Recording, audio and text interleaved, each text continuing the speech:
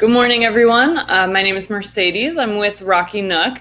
I'm happy to have you all here and to host Dan Bailey today.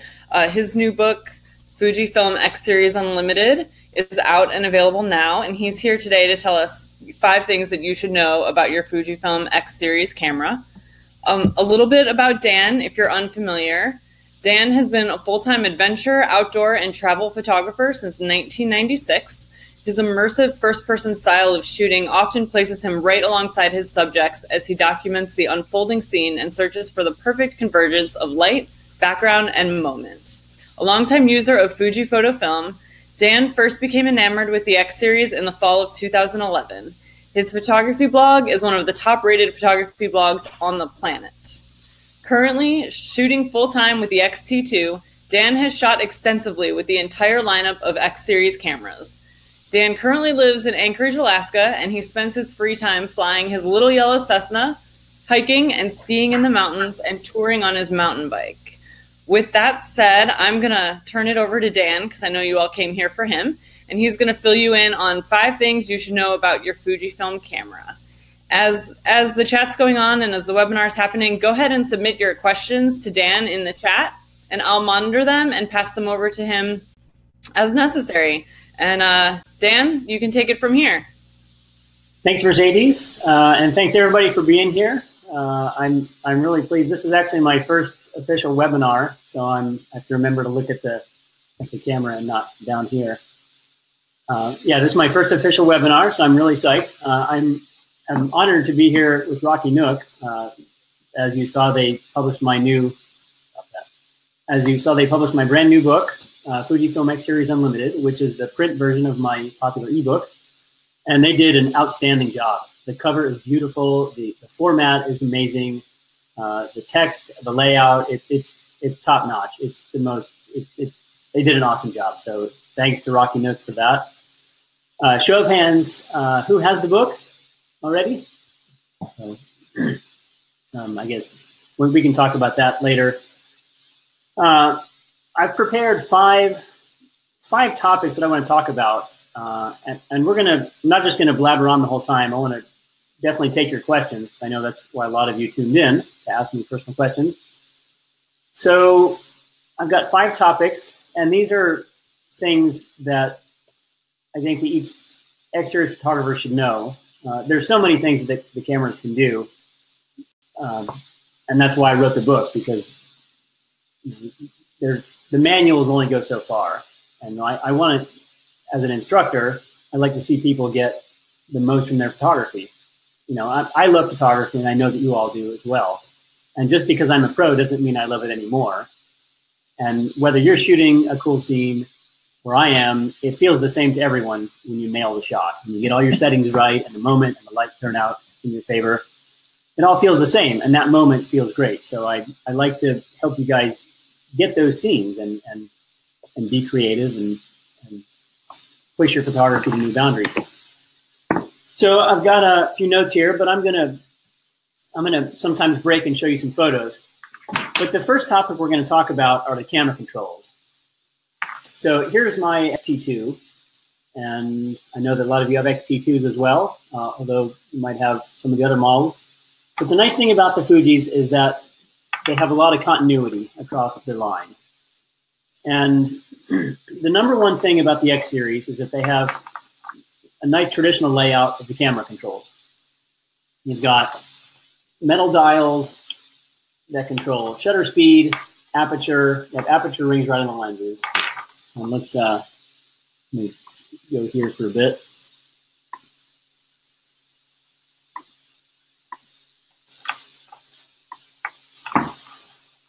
So here's an X-T2, and you can see on the top deck you have the ISO dial, you've got a shutter speed dial, and exposure compensation.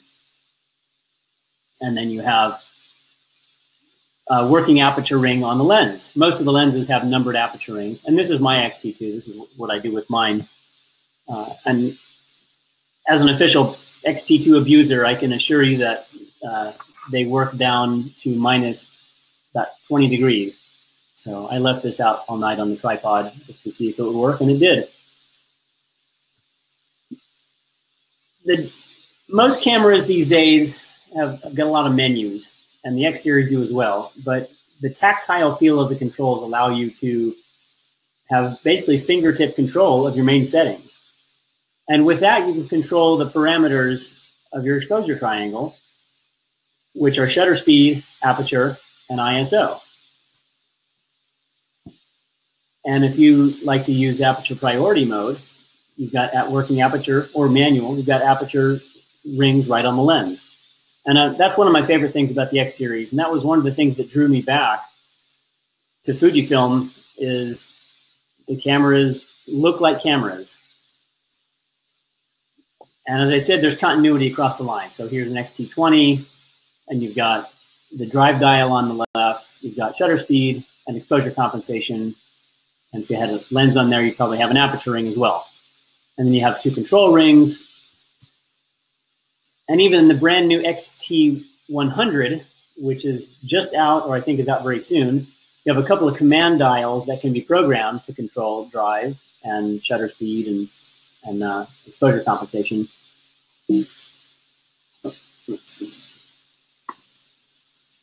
But the thing that the thing that I like a lot, the thing that I like best about the X series is when I'm shooting, I don't have to go into the menus to change my settings. And I see a lot of people holding the cameras different ways, but as someone who came from film cameras where we always had aperture rings, I think this is the most efficient way to hold the camera. Obviously, right hand on the on the body, but cradling the, the lens with your left hand. And that gives you not only does it give you stability, when you suck your shoulders in, you kind of have a tripod, especially when you place the camera to your eye. You hold the camera steady, but you've also got fingertip control right in your aperture ring. This is not quite as efficient because your arm is kind of out here. But if you have your if you have your arm sucked in like this, it creates a natural brace for the camera. Plus, you just look more professional, cooler, and that's really what it's all about. So, with uh, let's go back to here.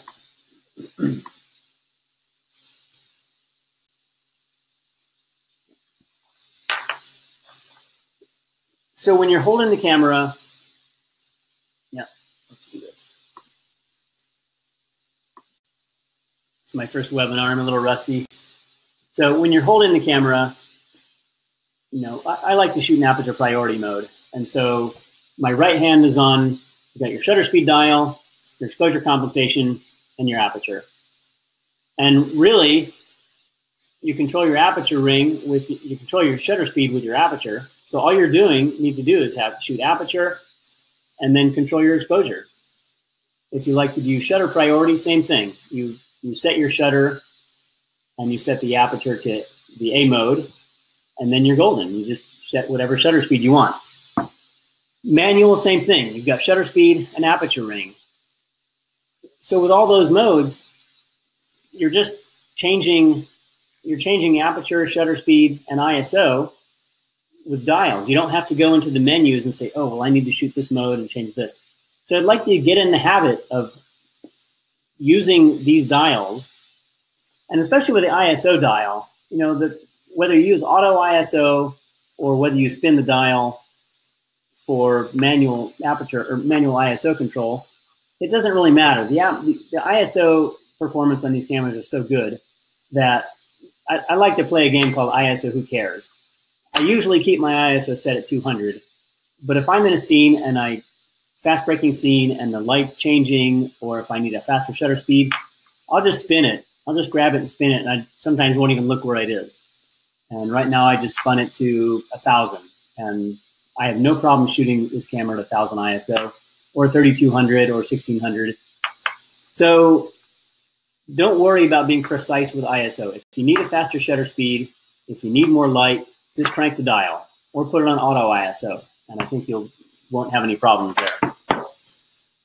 So let me just look at my notes here. Uh, one more thing on the shutter speed dial, you have a T, and that stands for T mode or time. And if you put the, the, uh, the shutter speed dial on T, then your shutter speed control is actually done with the command dial. And you can either set it for the front command dial or the rear command dial. And that's one of the things you can change in the button dial settings. And I talk about all the stuff in my book, all the settings. Um, so let's, um, that's kind of the end of the first topic. You know, just to recap, manual controls, get in the habit of using, holding your camera with the aperture ring in your left hand. And, you know, you can shoot all day, all month without ever going to the menu. And between, you know, if you're, if you know photography well, you know that shutter speed, aperture, and ISO is your exposure triangle. Those are the three things needed to make a picture. And if that's all you need to do to shoot great photos, you don't have to spend time in the menus. So let's uh, let's let's break there and and bring, ask some questions. Hey there, Dan. So we've got some good questions today coming in already. Good, um, I'm getting a little tired of hearing just hearing myself do this. One that I'm going to ask because it's pertinent to me and you is uh, a few people have asked as as a glasses wearer, how do you deal with light infiltration into the viewfinder when shooting in bright sunlight? Uh, that's a good question. Uh, I think my answer is that I've spent so many years shooting that my glasses are sort of permanently smashed towards my face on this side. And uh, the XT2 has a nice big eye cup. The light might be better here. The XT2 has a nice big eye cup, and so when I press my eye my glasses to, to that eyepiece, I can kind of cover the whole lens of my glass, my glasses, and then I kind of prevent light leak. The XT1 didn't have as big an eye cup, uh, and I'm not sure if all the other models have as big an eye cup, but a lot of times they're replaceable. But the XT2 and the XH1 and probably the GFX as well uh, they do have the bigger eye cup. Thanks. This okay, is really um, funny, I have to say. I've done a lot of classes and workshops and presentations, but when I have an audience in front of me, I have feedback and I can kind of respond to people. So it's a little awkward just to sit here and talk. So more questions. Well, more questions. I can better. The response in, in the chat is is pretty well. People people seem to be enjoying it so far. Cool. Um, and there are a lot of questions coming in, probably more than I can keep up with or more than we'll get to, but we'll certainly try. Oh, oh, I can see um, questions here too. Yep. Um, so um, someone's asking, how can I turn off the LCD during playback? Uh, they say they have the camera set for EVF only, but and the LCD will be enabled during playback, which is not a good situation when they're doing night photography. Okay, let's see. LCD, or so you want EVF only, right? So eye sensor only.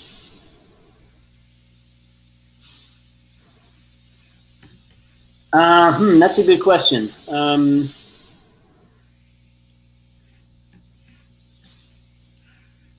that's a good question. That I actually, oh, there it is. I have I have my camera set. When you look through the viewfinder, you press the little view mode until it says EVF only. And I did that, and now I only have playback inside the eyepiece. I can see it. I, I, I can see the playback in there, but I can't see it on the viewfinder. So I think you have to be looking through when you press the view mode button. All right. Applause. Thanks, Martin. um, someone has said that they lost the round, small round plug on the front that covers the sensor. And is that a big deal? the small round plug that covers. Uh, does, does that mean the body cap? Um, because there's all these little plugs too. I've lost my plug for the the terminal. Um, uh, she didn't specify if she's still in the chat here. If she wants to send in some more information, we yeah, can come back to that body, question. If it's the body cap, uh, I'm sure you could go to a store. And maybe they have an extra, or call one 800 800 Fuji is the is the Fuji uh, technical helpline, and they can probably help you as well. Great. Janelle, um, I know I know Janelle. How's it going? Oh, great. Uh, I've got one question, one more question for you, and then you can get back to. Um, I know you have a few more things you want to teach us about. Um, let's see. Kevin says that you know the batteries don't last in cold weather, even when using every setting focus in manual. So, do you have any tips apart from putting the battery in your underwear to keep them warm? Uh, I've actually never put the battery in my underwear. Um, I suppose that would work. I, I typically will put them in a zipper pocket in my jacket. And in the wintertime, I'm often wearing multiple layers that have, uh, I might have a, a, shirt with an inner pocket. So I try to put them as close to my body as, I can. And oftentimes I'll put a heat pack in there as well, those little chemical hand heater packs with the heat factory. And I'll always carry at least two or three batteries in the wintertime. And sometimes if the battery dies in the camera, you can take it out, put it into a warm area, and then swap it out, and the, you'll get a little more juice back. And so in the wintertime, sometimes it's a matter of swapping out warm batteries for cold ones, and the cold ones might still have a charge. So all right, always uh, carry more, more, batteries. So Colin says, "Do you convert to DNG?" Uh, that I actually got an email from a guy about that this morning, and my answer is no. Uh, I, I see the whole DNG thing as kind of an Adobe, an unnecessary step. Uh, Adobe kind of led us all to believe that we needed DNG because format and computers and cameras might not be compatible in, in, in the future, but my software still reads raw files from every camera that I still have. And so I, I just see it as an un unnecessary step to convert to DNG. Maybe I'll convert a single DNG file to send to a client because it has the develop metadata in it but I, I just see no reason to convert all my files to DNG.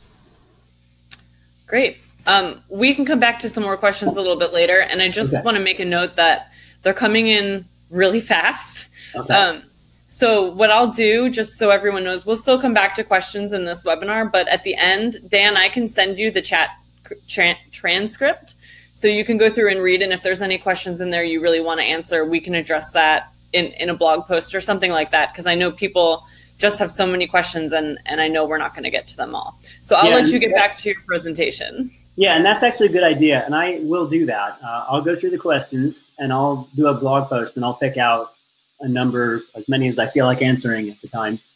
Uh, and so that would be a good way to answer this. So uh, the next thing we're going to talk about uh, is customizing your camera. And let's see, if I do this, um,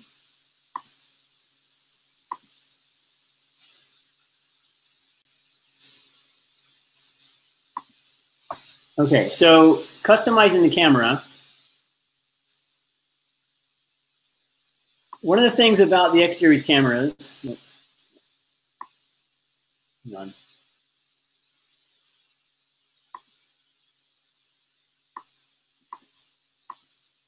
All right, the wrong button.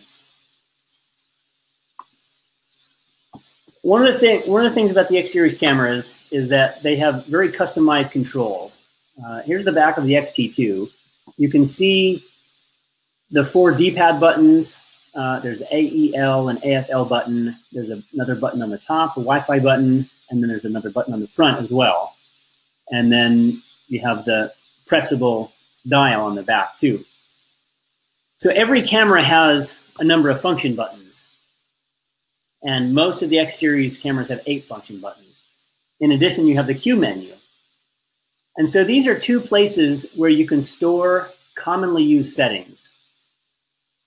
And they come pre-configured. So each, each camera has a set of, each camera has a set of pre-programmed settings for all the function buttons and, and dedicated Q menu settings. And you can change those. Uh, with the with the XT2, I found that a few of them make a lot of sense. So I, I keep some of the stock ones, but some of my change. The ones that I like to keep, uh, I always like to have, uh, before, before we talk about that, in order to change your function button settings, you simply hold the display back button down until you get this menu that you see right here. And once you get that, you can use the, the control buttons to navigate down through the menu and change which function button you want to change. And there, I think on the XT2, there's about 32 different choices. So depending on the style of photography you like to do, or what kind of a shooter you are, or what settings you typically use, you can pre-configure your function buttons So they reflect that shooting style. So again, you don't have to go into the menus and dig down. You can have one button press and bring up that setting. So for example, on the top example here, you have shutter mode. And so that's, you know, the example here is function one set to shutter. The X series cameras have an electronic shutter, which allows you to go up to 32 thousandth of a second, which is incredibly fast. You, you know, super shallow apertures in very bright sunlight or capturing extremely fast subject matter. So maybe you want to have your, your electronic shutter set. You can have fingertip control. But as you might know, there are some scenes where electronic shutter doesn't work very well. Uh, for me, I've seen propellers and extremely fast movement tends to have a funny look to it. And that's just the way the, the, the, the rolling electronic shutter works. It doesn't do action in really fast motion well. So instead of having to go into the menus and change back to manual shutter or mechanical shutter, you could simply set a function button, which would just one one button press, and you go electronic, manual, or manual plus electronic, or mechanical, and so forth. So if you have, you know, uh, focus modes or white balance, uh, some of the other choices that you might want to use are histogram, preview picture effect, which we're going to talk about in the next section, uh, the brand new firmware, which was released today for the XT2. Last month, Fuji released a firmware for the XT2 that was it had some bugs since they recalled it, but today they re-released the new version. So I encourage you to update that. And one of the features was larger indicators, so larger, uh, larger text in the viewfinder. Uh, auto ISO settings, self timer, again, shutter type, uh, focus modes. Those are all things that you can set as function buttons. Uh, another place you can set for quick control is the My menu. And this is found in the user settings down the wrench here. And once you put something in the My menu, whenever you hit the menu button, that's the first thing that will come up. Instead of, you know, if you don't have anything in the My menu, the image quality menu comes up first. But as soon as you put something in My menu and start to fill that up, that's the first thing that comes up when you hit the menu button. So again, here is where you can put things that you like to change quickly. Maybe you don't need immediate fingertip control, but instead of, again, digging down through the menus, you hit it once and it's right there. And you can, there's uh, two pages. I believe you can do, um, I guess you can do two pages in the My menu. You might be able to do three. I'm, I'm I have to check the manual on that, or my book.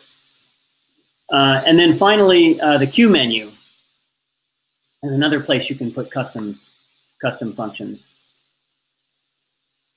So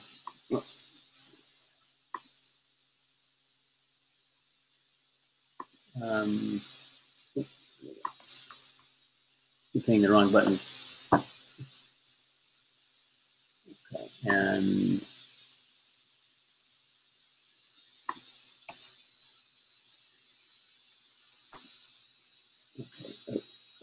okay.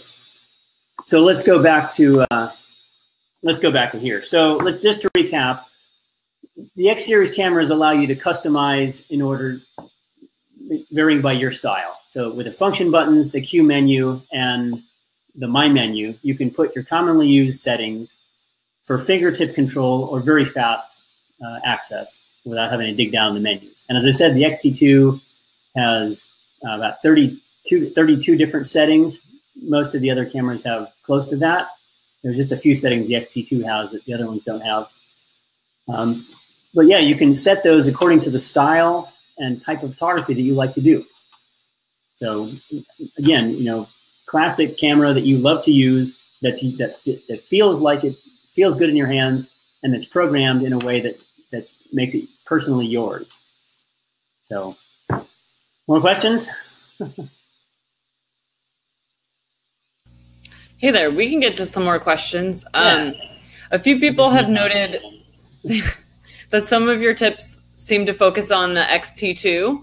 Um, are there things that you would say are applicable to both the XT2 and other cameras, or are there um, certain things that maybe aren't specific to the XT2 that um, the other cameras share that you could talk about?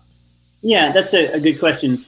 Uh, I, I, I do talk about the X-T2 a lot because that's the camera I use mostly, and that's the camera that has the most amount of features. Uh, but what you'll find with the X series is that almost all of the cameras have a common set of features. And the, the XT2 and the XH1 have a few features that the other ones don't have, but oftentimes those are catching up. For example, there were features that were in the XT2 that appeared in the XE3 with the firmware when that came out. And then with the firmware update, they came into the XT20. And so a lot of these things just keep getting propagated up into the models. Uh, but really, almost all of the features that I talk about, all of the features that I talk about will be applicable to all the cameras. There's a few settings that are specific that may not be in every model, and that's where you need to refer to your manual. But all of the things that I talk about today, and most of the things I talk about on my blog and in the book, are applicable to all the models. And in the book, I, I try to specify if there's settings that only apply to a specific model. All right. Here's another That's question. The X series is that their settings are common across all models, so you can seamlessly go between between cameras and have all the same, almost all the same features. Great. Uh, one question that was asked that a couple people seem interested in is focus bracketing. Um, Craig asks if you have any recommendations on that those settings. It seems to want to shoot a large number of frames. I haven't tried focus bracketing yet. Uh, yeah, I, I, people, some people have asked me about that. I'm going to have to to play around with that because honestly, I haven't tried it out yet. That focus bracketing is one of the new firmware things that went into the XT2 recently and the GFX as well, and I just haven't tried it yet. Okay. Uh, let me see what else I had in here. Terry says she loves her XT1 in the UK. I love the UK, and I love my XT1 as well. Jeremy asked uh, about the XT2 he asks, what's the best way to keep focus selection on face detection? Uh, he said the focus area seems to float from shot to shot. Uh, so face detection floats. Um, if you have multiple multiple faces in there, it, it, may float. You can try activating uh, either the the the auto, and the, the, there's face on, eye auto, eye left, eye right. Uh, so you might play around with those. Um, I, I, think if you usually the face detection tracks well, but if you have multiple faces, I found it it can switch. But I, I haven't found it to be very fal- that infallible. It seems to work pretty well. Um, somebody just asked me if I use primes or zooms. Uh, I'm a huge fan of the primes. I love the little primes. I have the 50 f2 on here. Uh, that's one of my favorite lenses. I like the 35 f2, the 14 2.8 uh, is my favorite wide angle, uh, and the 90. I, I, the only zooms I really use are the two longer ones, the 50 to 140 and the 100 to 400. But I do have the, the 18 and 135 as well. I, that's a pretty good lens. And I will say that I, after a couple of years of neglect, I pulled out my 55 to 200 this week, and I started shooting some landscapes with it, and I really fell in love with it again. It's a great lens and super light much easier to carry than the 50 to 140. Um, I think you have a couple more tips for us before we uh, take a few more questions. Is that right? Yeah, let's get into the next right. one. Next one is uh, next one will be more fun, I promise. now that we got the kind of technical camera button stuff out of the way. So the next section that I'm going to talk about are the film simulations. Uh, I, I know that not everyone understands the, the method behind why the film simulations were put in the cameras and how to use them to the fullest extent. So I'm going to give you a rundown on how I use them and how I believe they're kind of meant to be used and the advantages that they offer. So I'm going to go back to my slides here.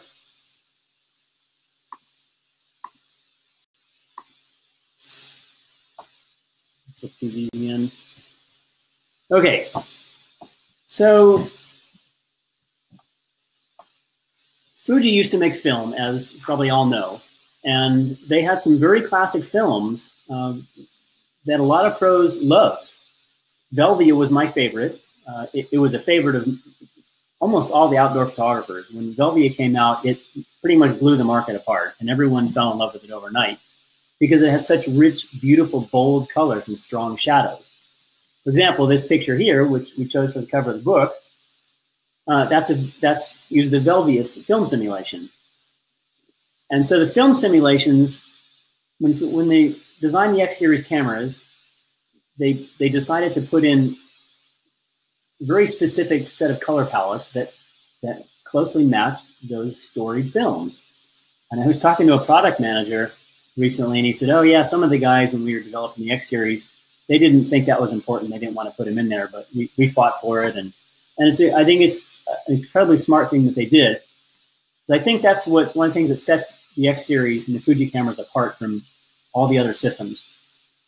Every camera today takes great pictures, but there's something special about the Fuji colors. And if you ask anybody who's used Fuji film in the past and and people who diehard Fuji users, they'll tell you that the colors are why they love the system so much, or they, they why they use love the film so much. So with the film simulations, and most of the cameras have 15 film simulations. There's a number of classics.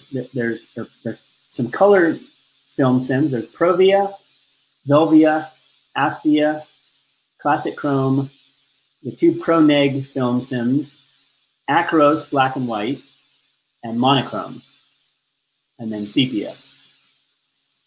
And with those, and, and, with the with the two monochromes, the Acros and the monochrome, you have red, green, blue, yellow, red, green, yellow filter selections as well. So as if you were shooting black and white with those color filters. So what you get with that packet of film simulations is a diverse but limited selection of color palettes that allow for a very wide amount of creative expression without overwhelming you. As we all know, we have too many choices in life. We have too many channels on the TV, too many shows to watch on Netflix, and too many books to read, too many everything, too many sliders to slide in Lightroom.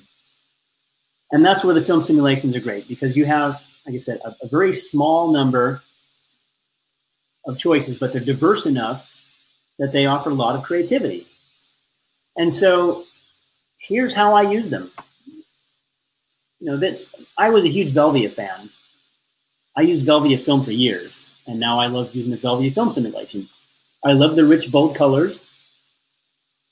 And when I'm shooting with Velvia, and, and to be clear, most of all, all of these pictures are straight JPEGs out of the camera. And that's that's part of the deal is that the Fuji JPEGs are so good right out of the camera, the image processors are so good that I rarely ever find the need to shoot raw.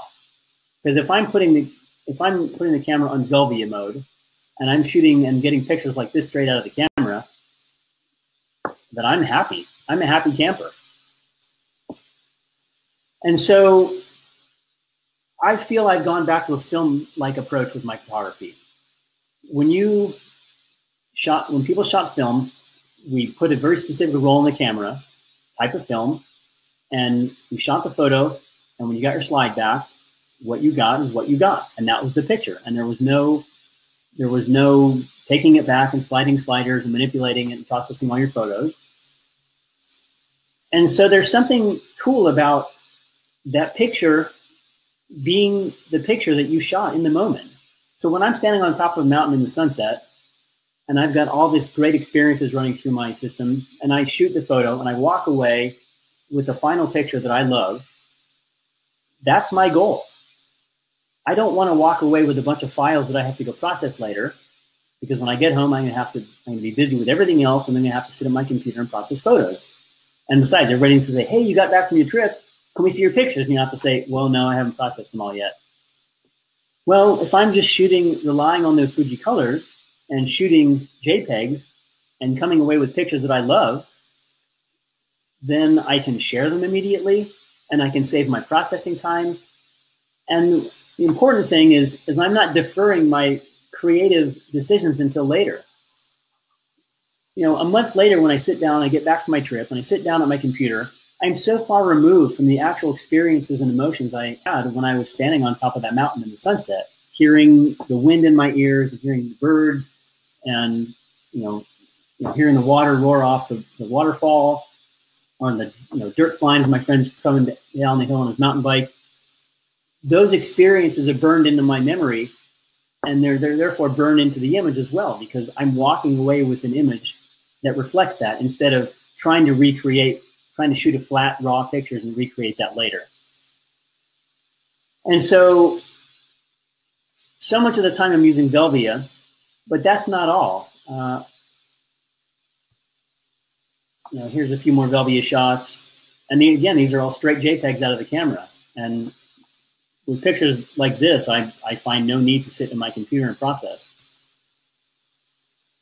Uh, Velvia typically works great in bright sunshine, with great colors, blue skies, you know, red, nice brightly colored jackets, people scenes, uh, bike race, you know, any kind of rich, dynamic scene in the world.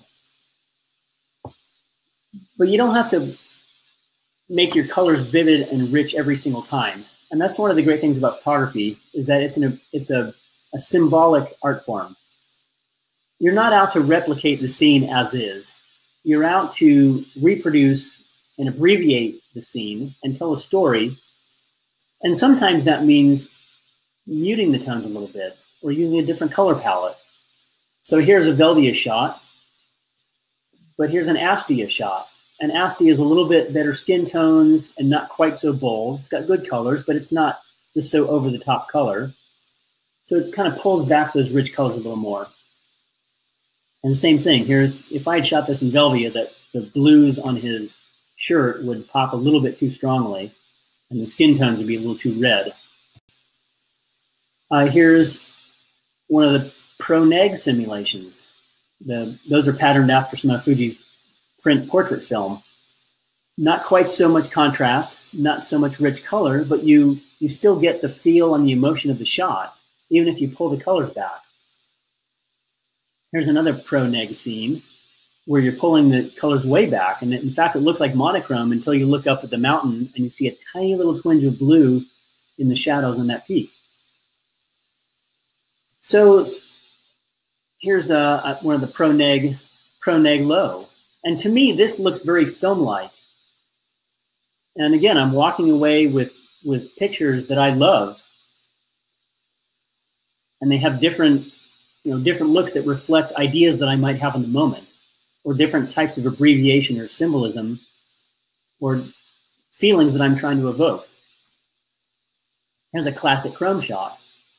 You know, it doesn't need to be rich and saturated. It doesn't need to be super colorful it has that classic look. And as we all know, cl- classic chrome was modern after Kodachrome, which is one of the most famous films of all time, has a very journalistic style of feel, which, since it pulls the colors back, it gives you a color palette that's much more muted, and it forces the viewer to focus more on the content of the picture and the story and the shapes. And then, of course, the monochrome is acros and black and white, uh, acros and monochrome, which they're very similar. If your camera doesn't have acros, then the monochrome is perfectly fine. They're both beautiful. Acros is a little bit better grain structure in the in the higher ISOs, but that's just because it's only found on the cameras with the higher processors, the X-T2 and the X-E3. Basically, all the newer models have that. But again, when you take the colors away, you force the viewer to focus on shape and story and your tonal variations. And so sometimes color is pretty cool, but black and white can have a lot of impact. And again, here's the black and white. Here's the Velvia. Add a little bit of color back, and it's just a different story. So I really like to tell the story that I saw in the moment based on the ideas I had. And you know, these are two very different two very different pictures. You know, this is in front of Loch Ness, which was kind of an eerie place. It was a sunny afternoon until we got to Loch Ness, and then all these squalls and clouds and storms are rolling over. And it just didn't seem like a bright, sunny, colorful picture would, would do it justice, where a more muted color palette would work better. Uh, here's a scene, here's a Velvia shot, which has a lot of color, but I felt that pulling the colors back gave it a more gritty look. Just made it a little more powerful. And I, I like the, this, this scene I like to be able to portray the scene in different ways, and I can walk away. I can do those right in camera, and I can also vary the look of the film simulations by using the highlight and shadow tone controls, which you find in the Q menu. Uh, I talk about that in the book. If you like, if you do some of those adjustments, you can save them as a custom setting, and you can pull those up another time if you come up with a combination you like. You can, if, if you don't like the film simulations, I know that not everybody does. I know that some people still prefer to shoot in RAW. And there's a setting called picture turn picture preview effect off. It's in the screen settings menu. If you if you prefer to shoot in RAW and you don't want to see the film simulations because you're just going to do processing later, if you turn pre preview picture effect off, your viewfinder will go flat and you'll see the straight scene without any coloration from the film simulations. But me, I like the film simulations. I like to shoot as if I'm I like to shoot as if I'm shooting with film again, making conscious choices about the scene, the emotions I have, and the story I want to tell. So I would encourage you to try the film simulations and and try shooting JPEG only and just seeing what you get. So, more questions?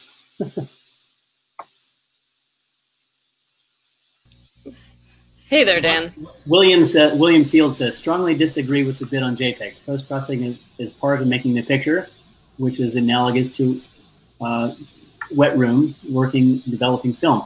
I totally agree, and that's the beautiful thing about photography is that it's it can be done any way you choose. It's you can do photography to your heart's content, and if you love to process photos, I agree that can be a very valuable and very joyous, immersive, creative act for some people.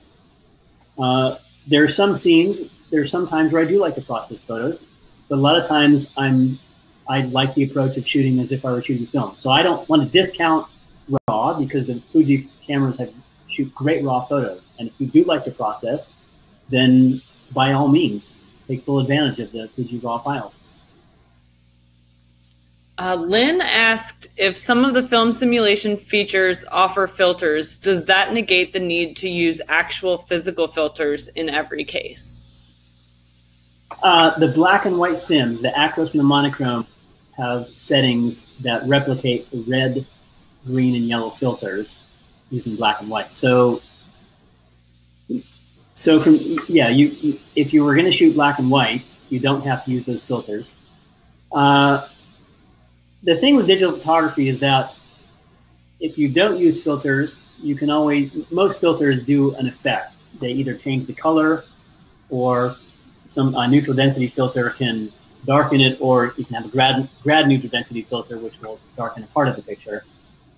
You can still use those, but with digital photography, a lot of what filters do can be replicated in post processing, like Photoshop and Lightroom. Let me see here. Andrew asked if you use the Fuji RAW conversion software, and if you do, do you have any tips? Uh, Fujifilm X RAW Studio uh, is a software that came out a few months ago. Uh, I haven't used it very much, but I played a little bit with it, and it does have one big advantage. Uh, when you shoot RAW, and upload those raw into, into Lightroom and even Luminar.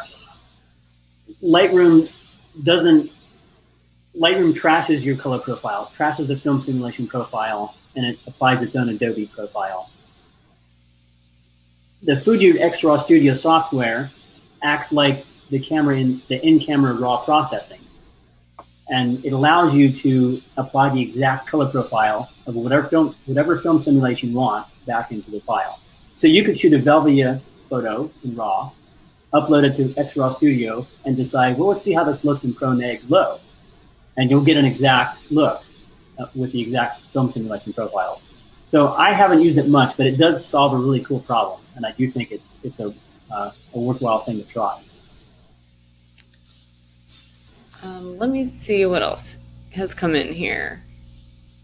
Um, People are asking how to use the highlight and shadows controls while shooting.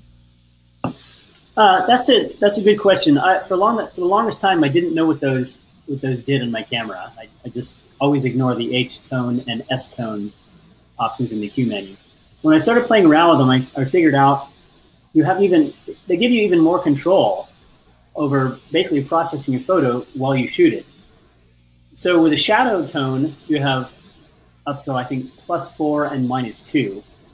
And plus is always adding more contrast, and minus is reducing contrast. So if you have a really contrasty scene and super dark shadows, you can go to the minus setting and pull those back and reduce the contrast in your scene.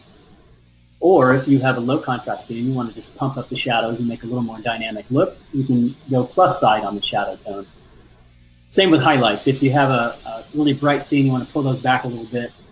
It, it, won't, if you have a highlight that's totally blown, the highlight tone isn't going to rescue it, um, but it will pull it back a little bit so it's not so obtrusive.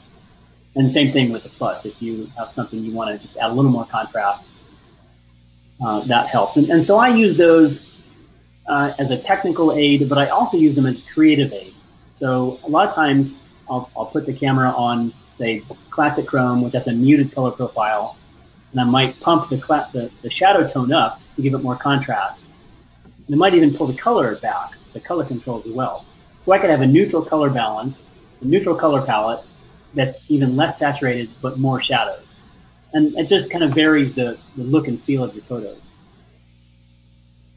All right, the questions seem to be slowing down a little bit now. So I want to give you a chance if there's anything else you want to say or tell people about your book um, and what kind of information they can find in there. Uh, okay. Here's your chance. Yeah. So one more question. One guy asked, "What um, what software do I use for processing my photos?" I'm a huge fan of Luminar. Uh, Luminar 2, 2018 is the newest version, and they've the even the Luminar programmers are Fuji users, and they've made a, a huge effort into making the X series, the X-Trans raw files work great in Luminar. So here's the book. If you haven't seen it, uh, it's full of information. The way it's broken down is I go into it's basically I run through. It's set up like a camera manual, or the, the camera controls. Each chapter is a chapter that covers an entire setting, a menu in the settings. So I have an image quality chapter, a focus chapter, a camera settings chapter, and I go through every single setting and feature on the X series cameras. And I tell you exactly what each feature does. And I show you or describe exactly how you can use it in your photography. So I give you image examples that show you the effect of, of, of exactly how you can use it. So my goal with the book is to help you expand and be the most creative possible and have the most technical proficiency with the camera. I want you to have the confidence to say, oh, I know that you know, Dan showed me that this picture, I can you know, use this setting to get this style of picture, or in this situation, this will help me capture that in the most, most effective way. So I've, I've written it really easy conversational style. It reads nothing like the manual, uh, and it's incredibly helpful tool. In fact, I was looking for a question. I had a question about the XT2 the other day. I just couldn't remember a certain setting. I pulled up the manual online and I, I couldn't find it. And so I, it's like, forget it. So I picked up the book and I flipped through and I found it in about 10 seconds. So the book, uh, one person asked, does it cover all of the XH1?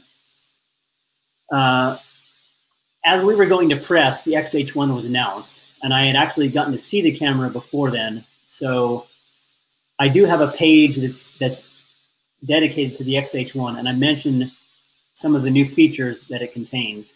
At the same time, almost every feature in the XH1 is also found in the XT2 and most of the other cameras. So if you have an XH1, the book will cover you pretty much the whole way through. Let's see. Um, the book, Michael asked, uh, the book, uh, the book itself, the print book, we obviously can't update that with every firmware update, but I imagine in the future we'll do a revision. You know, when, when a lot of features get changed, I'm sure we'll do a second printing. At least, hopefully, Rocky Nook will let me do that. hey, Dan. So I just want to pop in and mention for everyone who's here in the room that we have an offer going right now to receive 40 percent off your book.